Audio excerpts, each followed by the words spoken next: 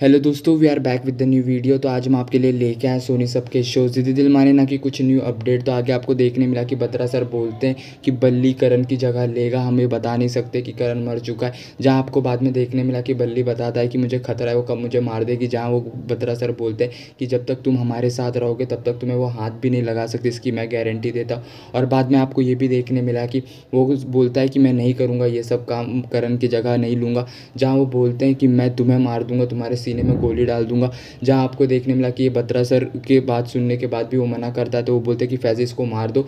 Batra sir Faizi को बोलते हैं ऐसा। तो जहाँ फैज़ी गन उठा लेता है, तभी वो बोलता है, ठीक है, मैं करूँगा। बाद में आपको देखने मिला कि बत्रा सर जाते मुनामी के पास। मुनामी को करण का कपड़ा सौंपते हैं और उसको ये सब बोलते हैं कि मैं उनके परिवार वालों को नहीं बता सकता कि करण नहीं रहा, इसलिए तुम्हें ये कपड़ा दे रहा हूँ और उसको बल्ली की बात बताते हैं। जहाँ बल्ली जैसे ही आता है, मुनामी के सामने उसको फेंक के मारने लगते हैं। मुनामी जहाँ वो बोलता है कि मैं इधर गाली सुनने के लिए नहीं आऊँ और ऐसे करके जाने लगता है, जहाँ मुनामी को बत्रा सर समझाते।